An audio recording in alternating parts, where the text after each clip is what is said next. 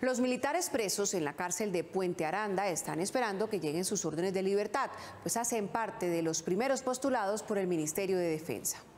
Soy el sargento viceprimero Ochoa Blanco Fidel Iván. Noticias 1 entró al Centro Militar Penitenciario de Puente Aranda, la cárcel en Bogotá, donde están recluidos 139 hombres del ejército, y habló con dos de los militares que quedarían libres en las próximas horas. En cualquier momento va a llegar el director y me va a decir Ochoa a la guardia y va a ser mi libertad. Ochoa es un reconocido suboficial de las Fuerzas Especiales que durante los 23 años en el ejército siempre estuvo en zonas de guerra y uno de los pocos que en dos oportunidades conformó el Batallón Colombia en el Sinaí.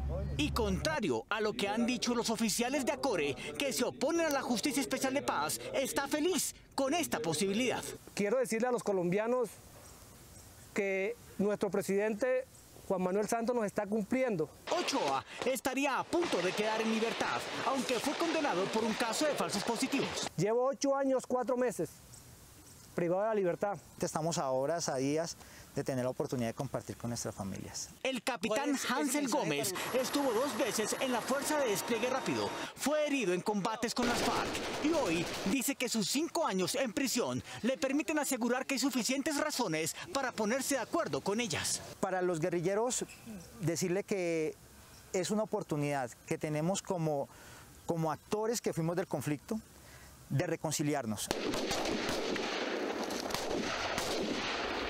Fuimos entrenados para la guerra y difícilmente con el tiempo vamos a sacar el chip de entender que, oiga, ustedes ya no están hechos, ya no son de guerra, sino que son, sino que tienen que pensar en otros, en otra situación. Eso es complejo para un militar. Como un hombre de guerra que fui porque todo mi tiempo lo pasé en zona de guerra, que no nos dé miedo hacer la paz. Los nombres de los militares y policías que recibirán el beneficio de la justicia especial se conocerán cuando queden en libertad. El único que sabe de la importancia de la libertad es el que algún día la ha perdido. No podemos como nación seguir matándose, matándonos entre nosotros mismos. Ya llega un punto donde nos tenemos que cansar. Cansémonos de los muertos. Se espera que al menos otros 500 hombres de las Fuerzas Armadas sean propuestos como candidatos a la justicia especial. Yo pensé que ya decía, es que yo vengo para que salgan los primeros.